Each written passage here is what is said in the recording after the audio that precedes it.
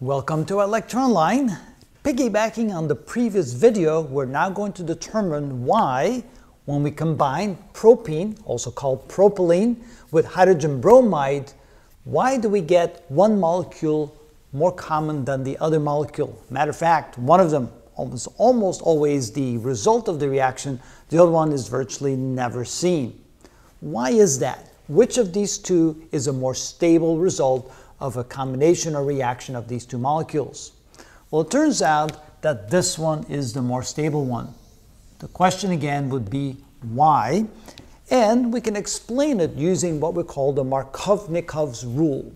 Markov, Markov, Markovnikov determined that the more stable molecules, again, are the molecules that have more CH3s attached to them versus less CH3. So in this case, this molecule here only has one CH3.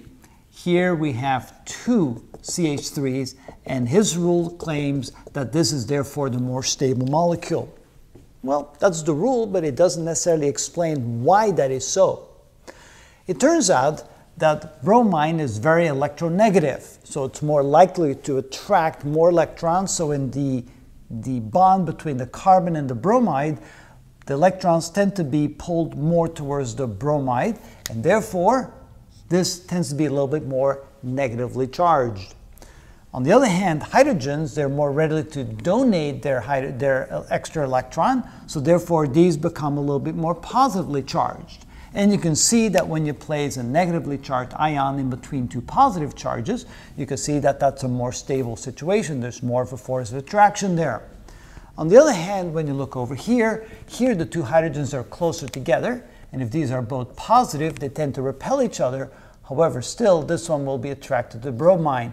But this situation here causes more of a repulsive force to exist, and therefore a less stable situation that actually plays in hand with Markovnikov's rule in that it's satisfied by having more hydrogens around a single carbon.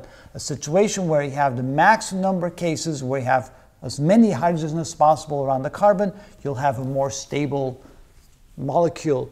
And this is, you can see, why that is so.